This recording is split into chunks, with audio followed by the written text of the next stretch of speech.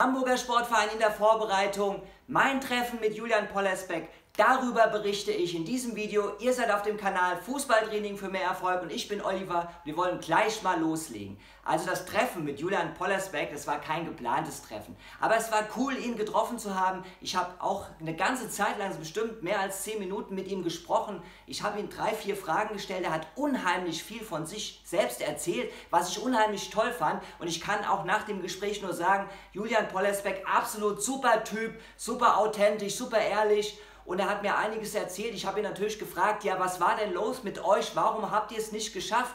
Und da hat er halt auch gemeint, es gab einige wichtige Faktoren, die am Ende dann zusammengekommen sind, warum es nicht geklappt hat. Unter anderem war er auch sauer auf sich selbst, dass er diesen, dieses Knackpunktspiel Darmstadt, das war auch für ihn der Knackpunkt. Er meinte auch, dass er sauer auf sich selbst ist, weil er diesen blöden Freistoß reingelassen hat und man hat ja da 2-0 geführt, dann hat man das Ding aus der Hand gegeben, am Ende noch verloren. Das war so ein Knackpunkt. Er sagte auch, vorher hat man ja in St. Pauli 4-0 gewonnen und da war man sich schon sicher. Die Mannschaft war sich sicher, dass sie den Aufstieg schaffen wird. Und sie war ja auch gegen Darmstadt diese 20 Minuten, wo man 2-0 geführt hat, klar dominant. Da hat man dieses Übergewicht im Mittelfeld gehabt, man hat es ausgenutzt, man hat zwei Tore gemacht, aber man hätte dann nachlegen müssen und hätte nicht nachlassen dürfen, ja. Aber das war so ein Punkt. Dann meinte er natürlich, dass der Aaron, also Aaron Hunt, gefehlt hat in so vielen Spielen. Das hat dann auch dazu beigetragen, dass die Mannschaft einfach nicht diese, diese Führung im Mittelfeld hatte durch Hunt. Denn er hat gesagt, immer wenn der Aaron dabei war, haben wir eigentlich unser Spiel gewonnen. Und das stimmt ja auch am Ende. Wenn man sich anguckt, dann war Aaron Hunt in vielen Spielen nicht dabei und da hat der HSV fast immer verloren oder schlecht ausgesehen.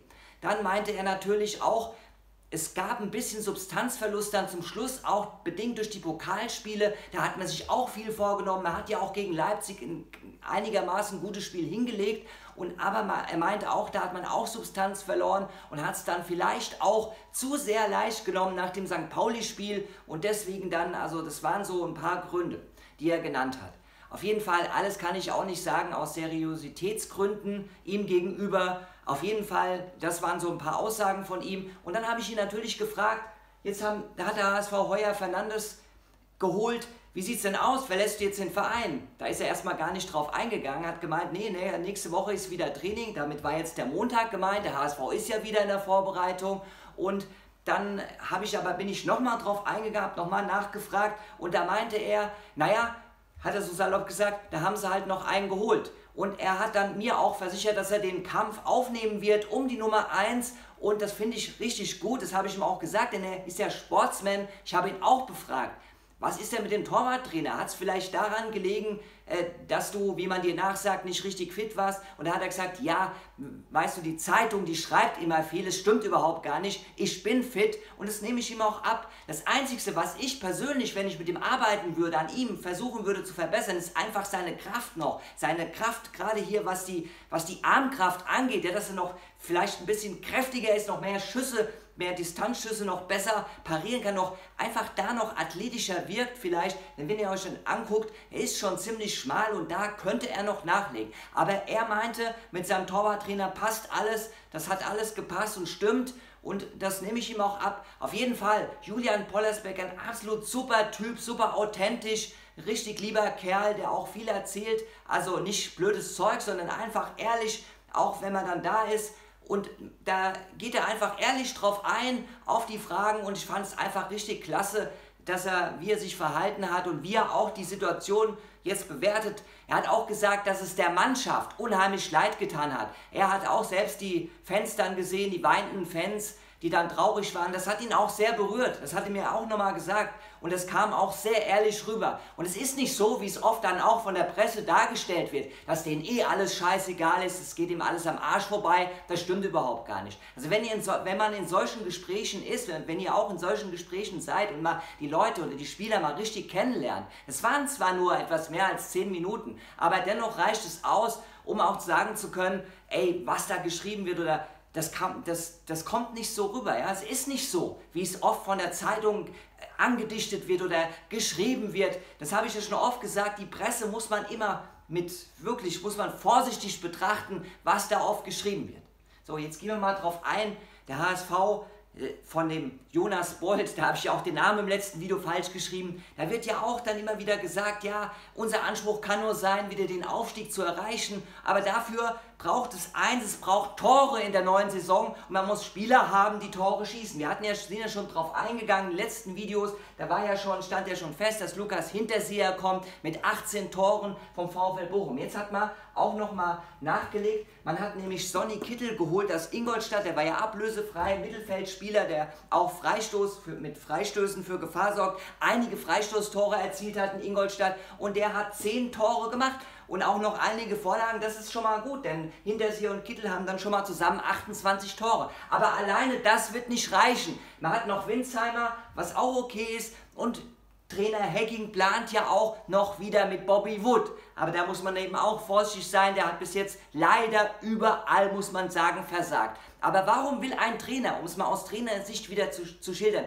warum sagt ein Trainer, er will diesen Mann hinbekommen? Warum? Weil du als Trainer einfach von dir, von deiner Arbeit überzeugt bist. Und du bist davon überzeugt, dass du den Spieler mit deinen Maßnahmen, mit deinem Training, vielleicht sogar mit deinen Extraschichten dahin bringst, wo du ihn als Trainer hinhaben willst und wo er der Mannschaft am meisten helfen kann auch, nämlich da eben, dass er, dass er Tore macht, dass er die Buden vorne macht.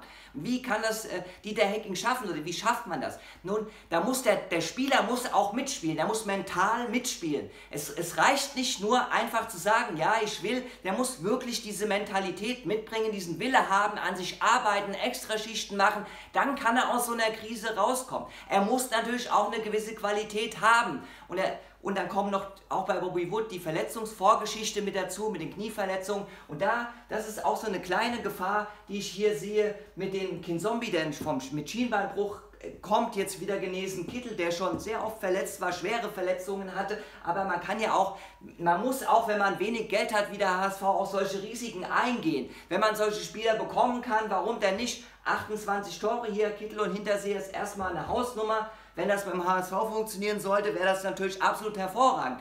Und dann muss man gucken, wie sieht die Arbeit aus von Dieter Hecking mit den Spielern. Kann er die Mannschaft weiterentwickeln? Kann er die Spieler entwickeln? Das ist ja das auch, für was der Trainer da ist. Dann ist noch ein neuer Co-Trainer geholt worden, Tobias Schweinsteiger. Dafür hat man den anderen Co-Trainer rausgeworfen. Da hat man, den hat man, glaube ich, auch wieder noch drei Jahre auf der Payroll. Also einfach Mist auch wieder, wie das Management da wieder mit dem Geld vom HSV umgeht. Da hätte man lieber neuen, noch einen Spieler geholt für dieses Geld, das Gehalt dann davon bezahlt, anstatt jetzt noch einen, noch einen äh, Co-Trainer hier wieder zu verpflichten. Nichts gegen den Tobias Schweinsteiger, ist ja ein klangvoller Name. Der Dieter Hecking wollte ihn ja auch haben, alles okay.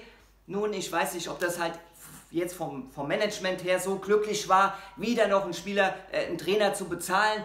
Das ist einfach wieder schlecht auch. Es hat wieder zu einer schlechten Presse geführt. Aber okay, spielt jetzt auch erstmal keine Rolle. Aus Trainersicht sind schon ein paar Spieler da. Fein ist noch ausgeliehen worden vom FC Bayern. Dann hat man ja den, den, die Bochumer und den also von St. Pauli und für die Abwehr. Naja, also aber eben insgesamt noch ein schwaches Gebilde, finde ich. Und dann will man ja Pollersbeck loswerden, aber das glaube ich gar nicht, dass der Julian den Verein verlassen wird. Höchstens, wenn er sich verbessern kann, nur dann wird er den Verein, wird er den Verein verlassen. Den Eindruck habe ich. Er wird seinen Kampf aufnehmen. Also, und Dieter Hecking will ja auch mit drei Torhütern in die Saison gehen, da muss man das abwarten. Und ansonsten muss man auch gucken, weil der Spielerkader ist im Moment über 32. Dann, dann will man noch Rick van Drongelen loswerden, den besten Abwehrspieler überhaupt. Das wäre meiner Meinung nach fatal, selbst wenn man da jetzt diesen von, von Nürnberg den Abwehrspieler holen will. Da hat man wieder noch einen Innenverteidiger mehr, aber dafür will man ja Van Drongelen abgeben. Also Everton heißt er vom 1. FC Nürnberg. Mal gucken, ob das klappt. Der war aber auch verletzt sehr lange Zeit am Syndesmosisband Verletzung gewesen, der hat nicht alle Spiele gemacht auch.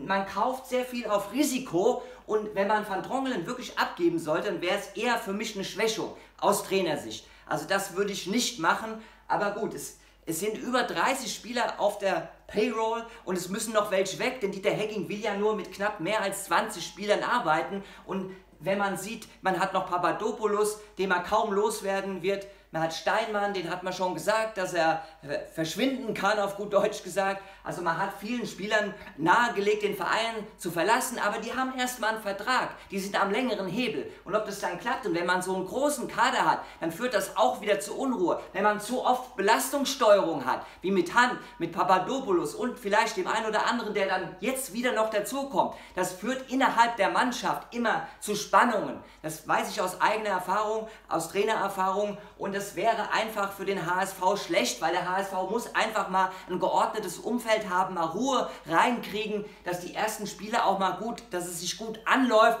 Das wollen wir dem HSV wünschen, dass die der Hacking dann eine glückliche Hand hat und dass es alles reibungslos funktioniert und nicht so viel Unruhe wieder reinkommt.